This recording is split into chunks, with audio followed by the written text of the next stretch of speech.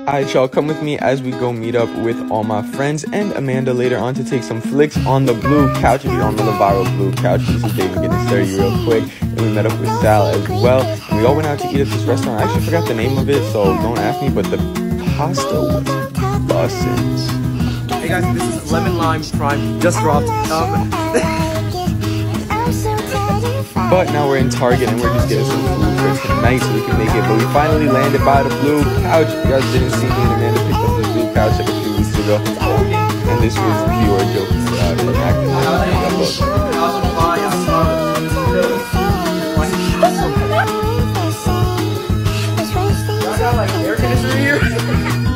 But yeah, took some flicks on the Instagram at Paul Soles, so go like them up. And the blue couch don't got bugs, bro.